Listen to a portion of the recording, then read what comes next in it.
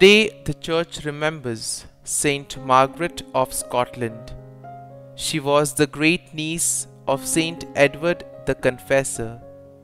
She was a Saxon princess raised in Hungary in exile.